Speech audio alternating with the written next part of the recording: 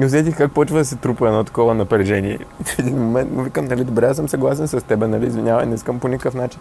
Ама вика, аз трябва да я подреждам по този начин. Викам, ако искаш подреди, я по друг за мен наистина няма никакво значение. Как, нали, ти си е твоята стая, да ти имаш да чистиш, аз само ти помагам. Ако не ти помагам, че отида да се чистя моята, той ми се разсърди.